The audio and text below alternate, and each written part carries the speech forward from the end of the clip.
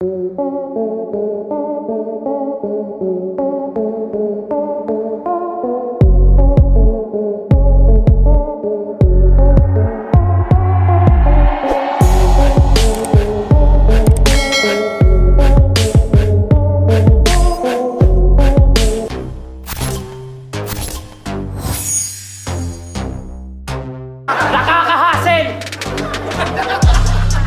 Putang ina, itak na lang kulang mukha ka ng kontrabida sa kung buhasin! Viva! Tang ina, bitin yan!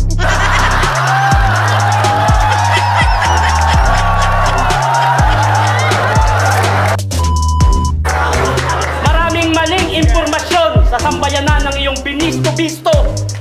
Tinawag mo akong bayani at bayani. Tayo! Tayo'y mag... Ocho, ocho!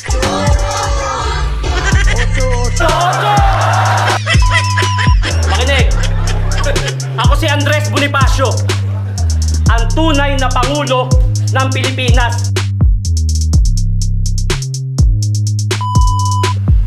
Julio Asete, taong 1896 nang mabuo ang samahang to.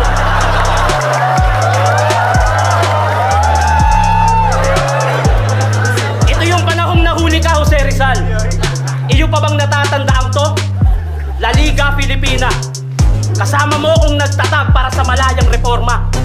Binuo natin to sa isang bahay sa Kalye Ascaraga na ngayon ay rekto na.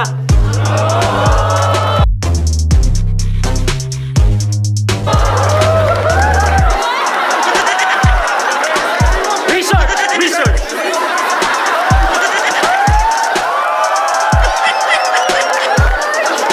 Nakakasuklam kung paano nga mga Kastila at pare ay kinulong tayo sa kaalaman na kapag sumalungat kay ipapakit ilang buhay mo sa berdugo sa harapan mismo ng sambayanan. Tinanggalan tayo ng boses, tinanggaran tayo ng karapatan. Ang magandang buhay at kalayaan ay para lang sa mayaman at hindi sa lahatan. Lahatan ba yon? Lahatan!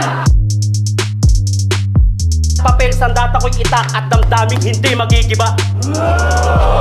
Ikaw ang sumulat at mayakda ng dala mong no limit ang hire. Nung nadakip at nakulong, ang sabi niya, Uy, nahulimit ang ine.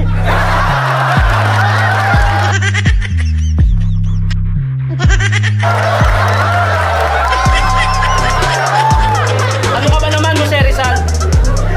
Ang dami-daming pwedeng saniban ng katawan, diyan pa sa payat na mukhang kawatan.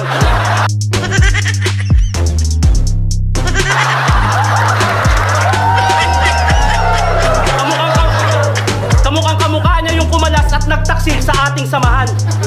Pepe, akala ko ba matalino ka? Ang dami-daming pwedeng saliban, no? Bakit sa adik pa? Buti pa ako mapalad. Napunta ako sa katawan ng gwapong to.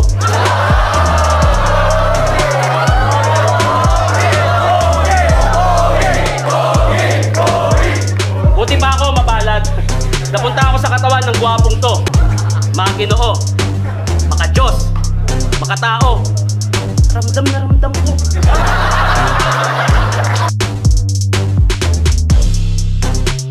Konting-konti na lang, perfecto na. Alam kong alam nyo rin. Samantalang yung katawan na gamit mo mukhang nagaganon. Parang tumutugtog ng violin.